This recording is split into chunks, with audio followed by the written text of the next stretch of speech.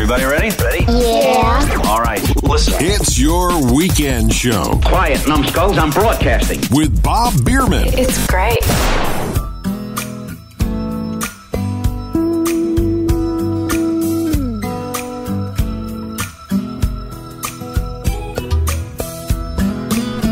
And welcome to your weekend show. I'm your host, Bob Biermann. I'm so glad you're spending some of your busy weekend schedule with me. As I look at the calendar, I'm having a hard time believing that the month of March is is just about over. Where did the month of March go? And really, where did the last four years go? We have been doing your weekend show now for four years. Seems hard to believe that that much time has gone by since we began your weekend show back in 2015. It was 2015, month of March, the first Your Weekend show aired on WRMI. And I'm trying to remember the frequencies. I believe it was at that time 5850, uh, 7730, and um, I think also 9395 kilohertz. So we started this program on, on shortwave. Now, my voice seems a little bit raspy today. I'm just getting over some of that stuff that was going around during the winter time. I had some sinus and, you know, all the stuff. A lot of you have been probably had it yourself, especially if you listen in the northern hemisphere. I know that in the southern hemisphere, you've been kind of winding up your summer and getting ready for fall. And here in our part of the world, we have, well, technically, uh, about a week and a half ago, started spring. Though I'm certain in some parts of of North America, it still feels a little bit more like winter. Here in Florida, of course, the weather is generally mild. We had a we had a few cold days this past year, which I thought were rather surprising uh, for Florida, but but not totally unusual and totally unprecedented. But yes, we did. We had some days this year in Florida that were downright cool, and uh, even recently, even in the month of March, which is relatively rare for us in Florida to have. Uh, kind of winterish type weather. Yeah, even we had some some days that were cold. Before I get into the topic that I have in, in mind today, I do want to remind you about the website, yourweekendshow.com. That is yourweekendshow.com. And of course, if you want to check us out on Facebook, we do let you know about the episodes each week on Facebook. You just simply have to look for Your Weekend Show. I have learned when you make your weekend show all one word, it comes right up. So so look for us on Facebook, find us on the internet at yourweekendshow.com. You know, in the way we talk in the English language in particular, there is a word that we tend to use quite a bit. And it can have a lot of meanings for a lot of different things. And it's one of those words that often well, oftentimes get misused. The word I'm talking about is the word love. We use it all the time. I love to have macaroni and cheese or a pizza. I love my wife. I love my car. How often do we use this one word to try to cover a whole number of things? The word love. What does the word love truly mean? I mean, we use the word love for so many things in our in our commercials on television and radio and wherever nowadays, the things that we love. How do you define the word love? As I said, the word love has been used a lot, and I think in many ways it has been misused. It's one word to cover too many things. Sometimes when we use the word love, things get lost in the translation. You know, if you go back to ancient times, let's go back a couple of thousand years ago, the Greek language of that day had a better way of describing this word we translate as love. And it broke it down to the four most common and understood things. Uh, there's one type of love, it's called phileo. And that's where the it, what's a matter of fact where the word Philadelphia comes from, the city of brotherly love. It's a love of affection, fondness, or liking. Notice, you know, a fondness, affection, or liking. It's a love that is called out of one's heart as a response to the pleasure one takes in a person or object. This love is called out of one's heart by by qualities in another. It's used a number of times as a noun and, and even a verb in many of the ancient writings. And then you've got this love that's called an agape love. It's it's a love from somebody about an object. It's a love of esteem. It's the idea of prizing something or valuing something. It is a very noble word for what we call love today.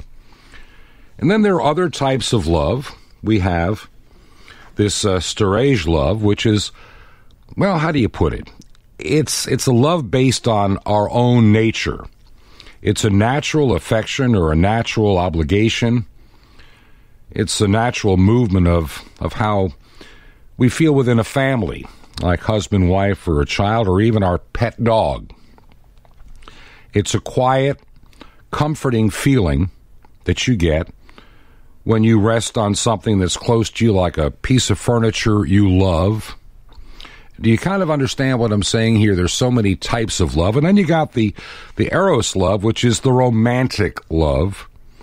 It's that love that, you know, it starts out when you when you meet somebody, that right person in your life, and you feel a certain type of affection, and that affection just continues to grow in the way that you respond to someone you truly love. It's a very special kind of love. But you see that there are all kinds of of definitions for love. The things, and they all had a different word that was used in ancient languages. They didn't use this one catch all word called love. And I think that can be a problem for many of us today because we don't really understand what love means. I can remember back in my disc jockey days, you know, I want to know what love is. Remember that song? If you can remember back that far, the question is, what kind of love are you talking about? The love of a woman, the love of a child, or the love of a pizza? They're all different. And I think that because we use the one word, we've begun to obscure it, what it truly means. Sometimes when people use the word love, I'm always reminded of that old Beatles song. You remember this one from way back when? All you need is love.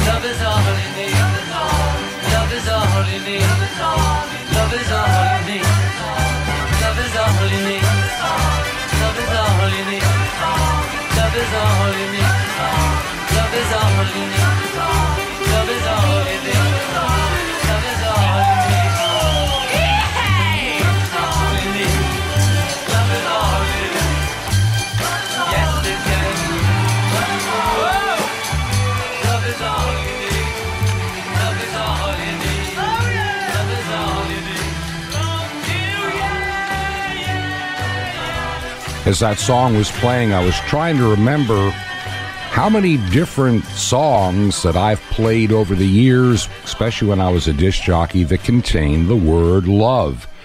And the supply is endless. I mean, I can remember, oh, I can remember songs like Where is the Love? Love can make you happy. I mean, think about it. How many songs use the word love? And what did the word love mean in the context of uh, of what the song was was saying and singing? In most cases, the word love in in most of our music, at least when I was coming along, was more to the romantic love. Boyfriend, girlfriend, husband, wife, going steady. I think that was the primary focus of the word love in the popular sense of music. But there are so many different types of the word love. And and I want to talk about that a little bit on the program today. I'm going to be sharing something in, in just a few minutes on the program. A kind of a message I gave about this this word, this crazy little thing. There's another title that comes to mind. This crazy little thing called love. And as you're listening to me today, how many different song titles are coming to your mind that have to do with the word love? I bet there are a lot of titles that are that are coming to your mind. But you know what I worry about? In this world we live in today, we've lost sight of the true meaning of the word love. And it because it's been so overused, I think sometimes we don't understand the implications and I think many of us especially some of the younger people in the way they've been raised to be so much of a self centered person, which is our natural inclination, that they don't understand that love that gives to somebody else, that love that is that is just unselfish. And we have lost sight of the concept of an unselfish love. As I go back over my own life and, and think of things that have happened to me, and I know what I'm about to share has probably happened to most every one of you listening to what I'm saying at least once, if maybe not twice or more times in your life, where because of love going wrong, you've experienced a period of long term pain, suffering, and sorrow.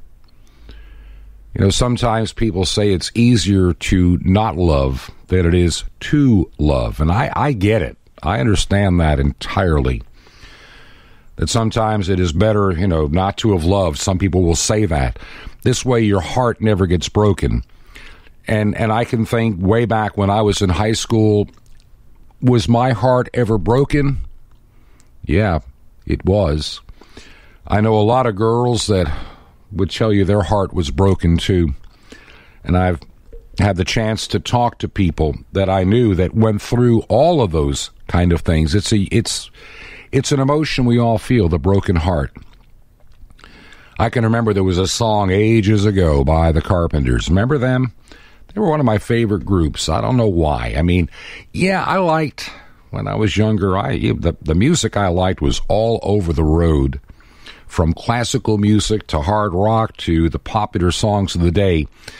But the Carpenters always had a clear way of bringing out a song and lyric that always seemed to touch the lives of people of multiple generations, just like this song. I'll say goodbye to love. No one ever cared if I should live or die.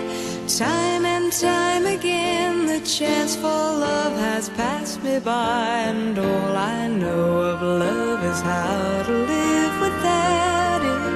I just can't seem to find it. So I've made my mind up, I must live my life alone. And though it's not the easy way, I guess I've always known I'd say goodbye to love. There are no tomorrows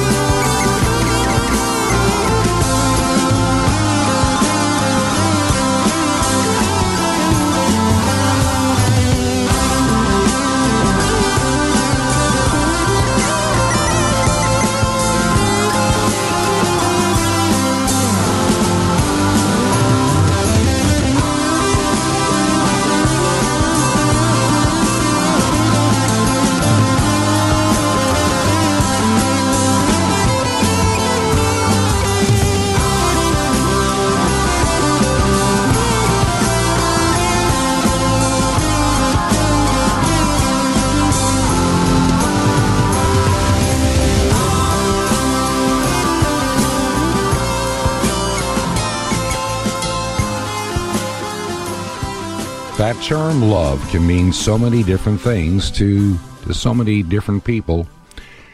But you know, when something happens where you lose love, there always seems to be a level of, well, pain, sorrow, sadness. When we lose a loved one, whether it's a parent, whether it's a friend, whether it's even a spouse, there's oftentimes a period of profound sadness when we lose that love because that person meant so much to you, was so much a part of your life that you identified with. And that love is often sad and painful. That word love, it means so many different things. And maybe as we begin to understand more clearly what the word love means, it, it's really better for us you know, it's there's such a difference between loving a pizza and loving a child. Yet we use that same word. We think we understand it, but I think at times, especially in today's world, the way many of our children are, are being raised, I don't think they understand all the nuances and differences between love. Because, see, if love is only self centered, if it's self centered, then there's not a whole lot of difference between the love of a boyfriend and the love of a pizza. Think about that for a moment. if everything is just about me and what I want, what I desire, then our idea of love towards somebody else becomes cheapened because we can't seem to differentiate the the difference between loving my car, loving my job, or loving that person that has come into my life that means so much to you. And I think a lot of people are not putting in the work that it takes to to really understand this this deep concept of love. This, by the way, is your weekend show. I want to take a moment here just to catch you up if you just tuned in. This is your weekend show, and I'm your host, Bob Biermann. I'm finding it hard to believe that we are are getting ready to celebrate. We're now entering our fifth year of doing this program. We have done four years. This program started, and it seems to me like only yesterday. Only yesterday it was it was 2015. And I started producing the program, the first one, I started working on it uh, sometime in February, and the first program actually aired about middle of March of 2015. I'm trying to remember the exact day, to be quite honest. And it aired on WRMI. And uh, it aired on three different frequencies a little, you know, about four years ago. And it has had a following ever since. We are now on several other outlets. We're on The Voice of Hope out of Zambia, Africa. We're on domestic radio. We're also online as a podcast. It's Spreaker and it's SoundCloud these days. Rockman Christian Radio as well. And and I'm thinking about expanding or maybe making just a few little minor modifications to the program to make it a program of interest to a number of maybe secular and Christian radio stations in the United States and maybe even Canada. On a personal note, my wife and I have been really looking at the things that we're doing, and I've talked about this a little bit over the last several months, just kind of taking assessment of where we're at. We have our home in Florida and also in, in the mountains of Georgia. And more and more, I'm feeling this this awesome urge and responsibility to spend a little bit more time in ministry and not as much in radio.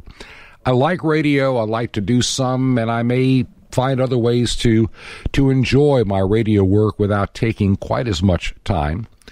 Because when I'm doing too much radio work, I have a tendency not to be able to get the things done in other areas that I'd like to especially in, in spending time in ministry, and there's some opportunity that's about to present itself. And I have to be, well, frankly, I have to be ready for what changes may be occurring in the not too distant future. Just a few weeks ago, my wife and I took a little trip not far from where we live in in Florida, up to the very historic and beautiful city of St. Augustine. It's in the northern part of Florida, north of Daytona Beach. It's just south of Jacksonville. It's often called America's first city. And yes, my wife and I were trying to find uh, on our first trip mm, last year up to together to St. Augustine. We went ahead and looked for the Fountain of Youth. I'm not sure if it works or not, but we were there, so we did get a a drink from the Fountain of Youth. Only time will tell. It was three weeks ago that my wife and I we had the opportunity of spending just a little bit of time up in uh, St. Augustine, and I I had the opportunity of visiting a place that I've been to before and had a chance to speak at before, and that's Resurrection Anglican Church. It, it's located on the north part of St. Augustine, and and I I had a message that I shared about this concept of love and it just seemed to fit and flow and i'm going to be sharing it in just a couple of minutes from now and and i think it'll really be a help for you wherever you are in your life it's not so much of a preachy mean sermon or something like that but i think it's something that that for many of you and myself included it's a good exercise to remind ourselves what love is i always think about that top 40 song from years ago. I want to know what love is. And I really believe in my heart today that a lot of people do not truly understand what love is all about. I mean, seriously, a lot of people do not understand that love is not a one direction or one sided entity. That true love goes in two directions when you're talking in terms of people and relationships. Now, like I say, we have this word called love, or I think extreme like is a better way to put it. Yeah, I, I think it's a not really a great thing to say, I love pizza or I love ice cream, and then use that same word to say, I love my children. And I think because we have taken the word love and used it for so many different things, that for many people it becomes, well, a little bit skewed, a little bit difficult to comprehend the difference between what love is and what love is not. And we have made this one word a catch all for, for too many things. Like I say, that song has always been haunting in its own way. It's a great song, and it really does have a great message that I really want to know what love is. Gotta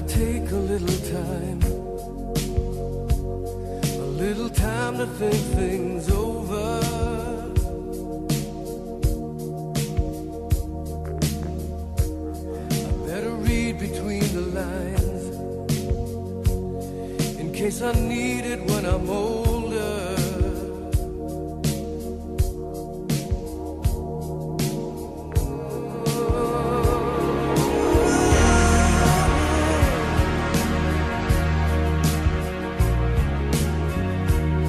Now this mountain I must climb feels like the world upon my shoulder. Through the clouds I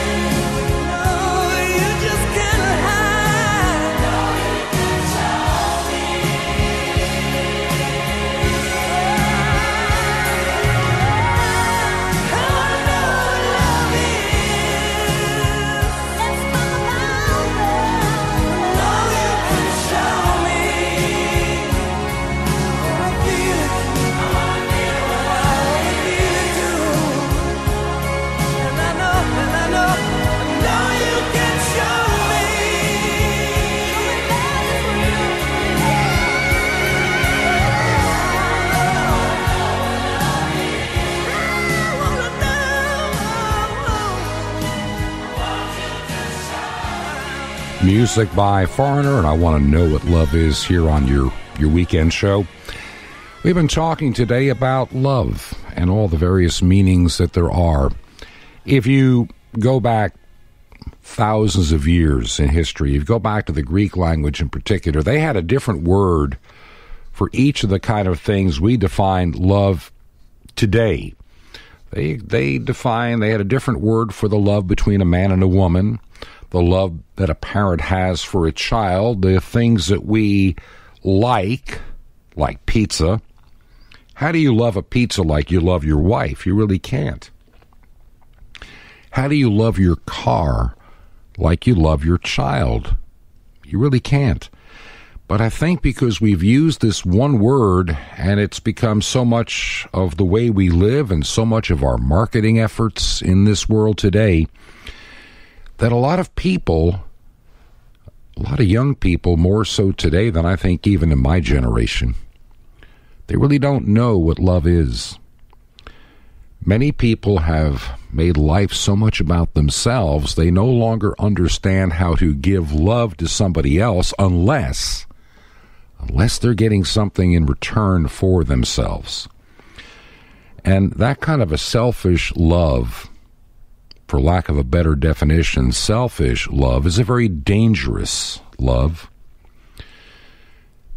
And we see we see the troubles that it has left behind in our Western culture, whether it be the United States, Canada, the United Kingdom, pretty much Western Europe.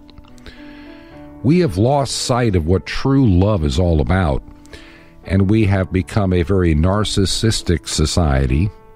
And so love is based from a narcissistic, all directed toward me thought process. That's why it's easy for people to say they're in love and then walk away from it so quickly and so easily. The idea of commitment is, is becoming increasingly difficult. A few weeks ago, as I said before, my wife and I happened to be up in St. Augustine. There were a couple of things that I needed to do up there in that region.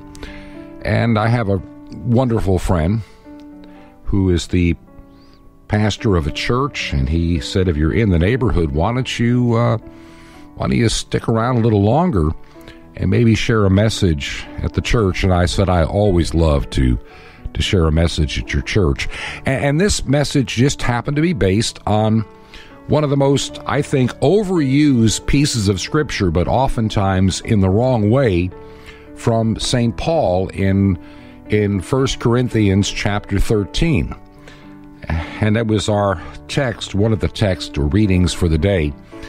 And I decided it would be a good time to share a message about love, and I want to share that message now, if I may, with you. So let me take you back about three weeks ago to Resurrection Anglican Church in St. Augustine, Florida. Let us pray. Heavenly Father, I thank you for this opportunity to share from your word what you would have us understand and comprehend today. I pray that you'll open our ears to hear, our eyes to see, and our hearts to receive. For this I ask in Jesus' name. Amen. How many of you have gone to a wedding? A wedding of somebody that doesn't normally go to church on a regular basis, if at all, but somehow the wedding is being done by some kind of a clergyman, maybe at a beach, maybe in a ballroom, maybe in a chapel, and they always have their favorite Bible passage to read before they get deeply into the service. How many of you have been to those kind of weddings? It's kind of like the baptism to make the grandparents happy. You know, their kids never go to church. They have no intention of going to church. They're not going to ever ask their child to go to church. They're not going to take them to church, but to stay in the will, we'll get the kid baptized at the church.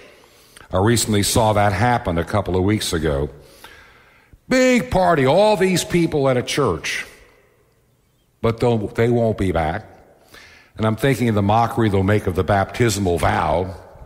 The sponsors, yes, I'll make sure that they're raised in the, you know, in the truth of God's word. No, they're not. You're just doing this to make grandma and grandpa happy. I think of the beach wedding.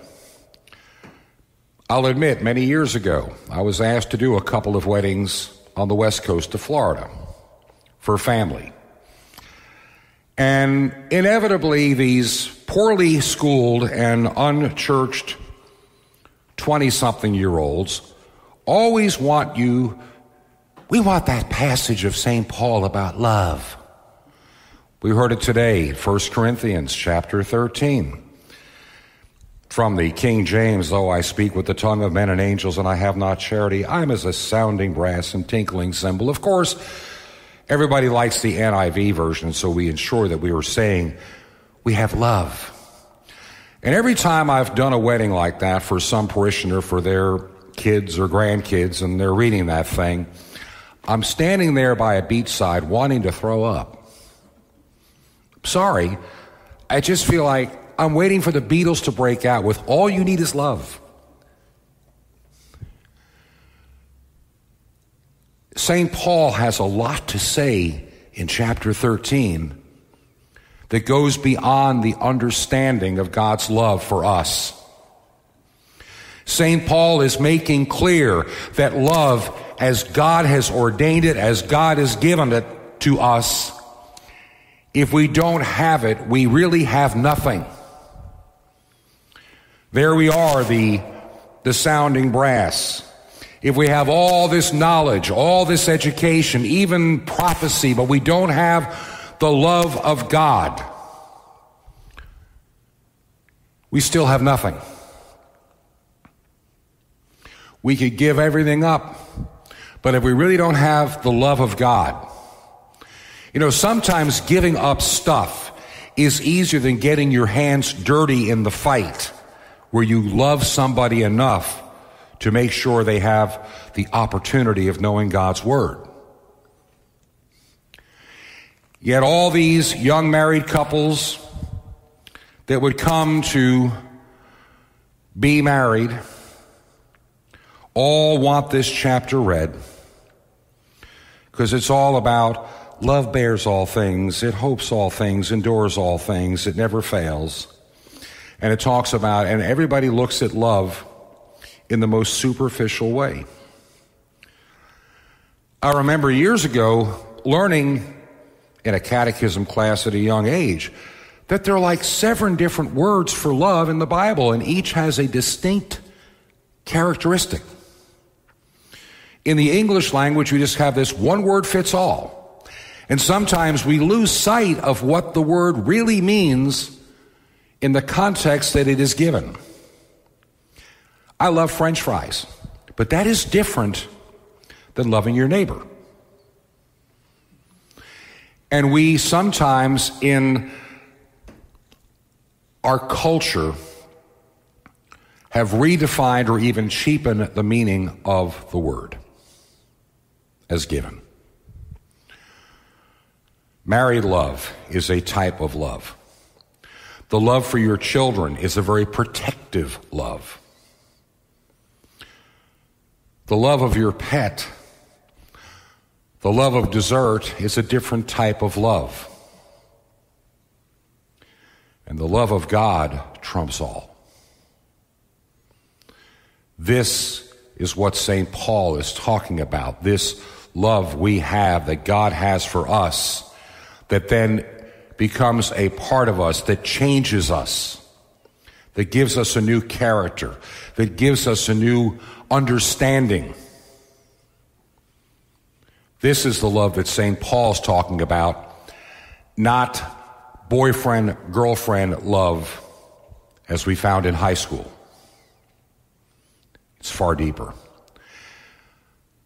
But St. Paul has a lot more to say after he has told us about this love. He then reminds us of something to put it in perspective. That's where we never read at that wedding the next part. The part that actually ties it together. What does St. Paul say? When I was a child, I spake as a child, I understood as a child, I thought as a child. But when I became a man, I put away childish things. Couple of contexts to put that in. Young Christians are just learning. St. Paul even uses the analogy of the child when it comes to being a young Christian. We start out on the milk of God's Word. We're not ready to chew the steak. We have to grow in faith as we learn more and more.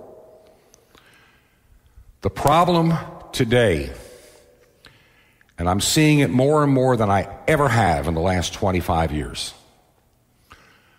When I look at young people today, and I'm not disparaging them, I'm disparaging the institutions and some of the families and how they are raised, are being left to being perpetual children. They're never growing up. They're never taking on the responsibility. They're never going to understand what St. Paul says when I was a child, I spoke like a child and I acted like a child. But when I got to a certain point, time to put away the childish things. For some reason, we have this arrested development syndrome that has been institutionalized. We have a lot of young, I was thinking the other day, and I'm not bragging on myself, if you're anywhere near my age, I graduated high school when I was 17 years old. I was not quite 18. That summer, after I graduated, I worked literally seven days a week, plowing away as much money as I could because come the end of August, I'm hopping in my little Opel Kadett with all my worldly belongings, and I'm heading out into the world to pay for my own schooling, getting a job, and living in another state. Didn't think twice about it, just did it. I look at some 17 year olds today, they're afraid of graduating high school. What am I going to do now? They're ill prepared they become dependent. What St. Paul is reminding us, and this is what ties the love together that I'm about to get to. He's saying we have to grow up. We have to learn. Then suddenly, this love of God becomes a useful tool for His kingdom and for us. It really does. As we grow up and we begin to see what God has done for us, then all of a sudden, the love of God in our life makes absolute sense. It's not abstract anymore.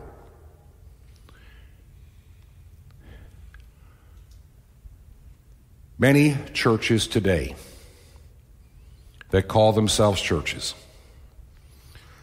have built themselves on superficial things they talk about love and what feels good to us, what makes us happy. They have emulated a lot of the world in order to attract a lot of people. But if the leader fails, the church goes into a tailspin, the lo- that local church. I've seen it happen over and over again. Church of four, five, six thousand people. Then the pastor is caught having an affair. And 6,000 people becomes 2,000 in two weeks. Now they can't pay the mortgage. And many of the people in the church love the songs about me and how I feel. And they'll come home and say, I really didn't get anything out of church today. I don't know if I want to go back next week. Funny thing is, church is not about us, it's about our worship toward God, what we give to Him. This is His hour, not ours. Out of 168 hours in the course of the week, this is the one hour. We get the other 167. Where's the hour for Him? Where is our love back to Him for the love He gave us in His Son on the cross? It's not all about us. One of my favorite little Facebook memes is the one that shows the first narcissistic church where it's all about me. Sunday service if we feel like it. Love that sign. And that's where a lot of people are in the church today. Over the years, as we have taken the sovereignty of an almighty God out of our culture, Go to any restaurant on a Sunday morning and you'll notice how many people will not be going to church today, have not been to church, and they're not Roman Catholic where they went last night. You can tell. You see, and I saw this up in Georgia one time. Early on a Sunday morning, I was having a quick bite before I had to speak. And I'm there and I see this father sitting at a table with two children, no wife there. And you knew this was his weekend. And all three have got their face in the phone, not talking to each other at all. That's how his weekend is spent, each in their own virtual world. And I'm looking at these kids and wondering will they ever grow up? Will they ever get out of the virtual world that they're in today? Will the Father have that love as St. Paul is talking about? The real love of God that sometimes chastises, but always undergirds, that carries us in the difficult times of life. We have a hard road ahead as a traditional church body. But here's the good news. As many of the mainline churches have just consistently walked away from the faith, and other churches try to emulate more the things of the world to attract people, I'm starting to find people in their teens and 20s that are looking at the virtual world in which they're living and they got to go, there's got to be something deeper than all this. We have that faith. We have that faith. We have the good news and we have the message. St. Paul concludes the chapter with these two verses. For now we see through a glass darkly, but then face to face. Now I know in part, but then I will know even as I am known. St. Paul says we have a job to do here. We may not understand all the nuances. We may not have all the details quite figured out because it's hard for us to comprehend this love of God. But when that day comes and the race is done, then we'll know fully.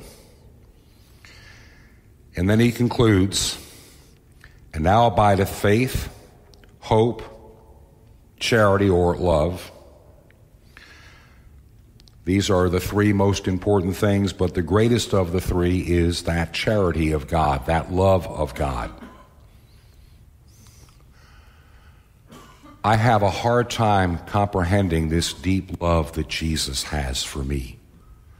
I don't get it. I don't understand it. I've looked at all the gifts and opportunities He's given me in spite of myself. And I'm learning, as an old hymn said, to love Him more each day. Because as I grow up in the knowledge of the faith,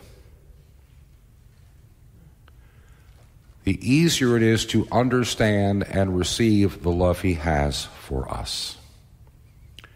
We have a lot of work ahead of us in a very changing world that is increasingly hostile to what we hold dear. We need to learn that love that's the most important thing, the true love of God, not the superficial love of the world. The love of God. Heavenly Father, I thank you for this time that I've been able to share from your word. And I pray that by the power of your Holy Spirit that we begin to understand the depth of the love that came in the form of your Son, Jesus Christ. That we begin to comprehend and grow in your word Stop drinking the milk, but desire the fullness of the Word, the depth of the Word. That the Word become a living part of us. Father, I pray for this church that it begins to fully comprehend the mission and the goals you have for it, and that people will be on board as your Holy Spirit directs. I thank you for this day, and I thank you for this congregation, and I thank you for the love that you give each and every one of us. For this I ask in Jesus' name, and all the congregation said, Amen. love of God is greater far tongue or can ever tell. It goes beyond the highest star and reaches to the lowest hill. The guilty pen bowed down with care. God gave His Son to it.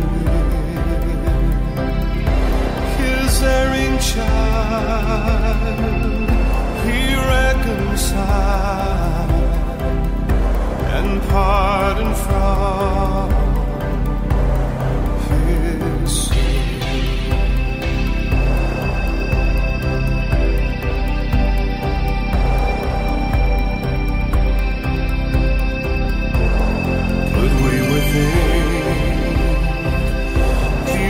ocean feel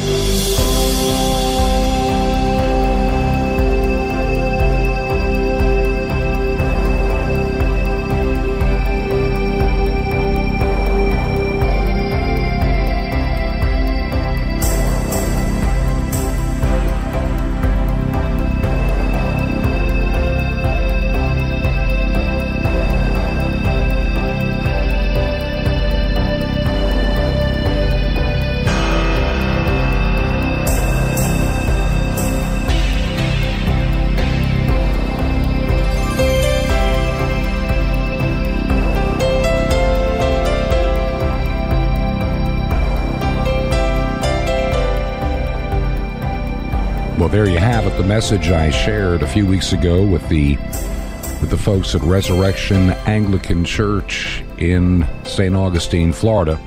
By the way, I've put that message up on, on Spreaker as well if you want to hear it again or share it with any of your friends. It's hard to believe another week has gone by for your weekend show and, and really another month. We're getting ready next week. We'll be in the month of April, starting a whole new month. And I've got some travel to do toward the end of the month that I'm excited about. I a, I have a granddaughter getting married in Georgia, and I'm looking forward to being there for that. And a little time away in the mountains as well, and we'll be doing the radio show from Northeast Georgia in about a month from now. So we're looking forward to that that time, a time away. If this program has any meaning for you, would you let me know that you do listen to your weekend show? You can find us at yourweekendshow.com. That is yourweekendshow.com. And also on Facebook at Your Weekend Show. From there, you can send messages from from the website. You can send me an, a direct email. It comes right to me, not to anybody else. So I'm the one that, that reads them. So if you'd like to share from your heart, feel free to use the address at yourweekendshow.com even though it takes a little longer to get to me in Florida than when I'm in Georgia, you can even use snail mail. Some people have said they would love to be able to write a regular letter, and you can use that. Just uh, write it to me in care of our address in Georgia, which is 21 Berkshire Lane. That's Berkshire, B E R K S H I R E Lane, and add the number 263. That's 263 Sky Valley, Georgia 30537. That's Sky Valley, two words, the state of Georgia, and the zip code of 30537. 30537. 21 Berkshire Lane, number 263, Sky Valley, Georgia 30537. And of course, the webpage, which is yourweekendshow.com. That is yourweekendshow.com. And and also look for us on Facebook.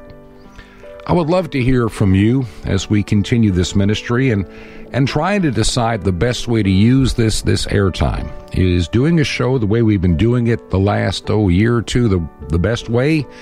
Maybe you have some suggestions and I would love for you to take the time to let me know what you think. Don't forget that website yourweekendshow.com and when you think about it, like us on Facebook at Your Weekend Show. Until next week at the same time, may God richly bless you, is my prayer.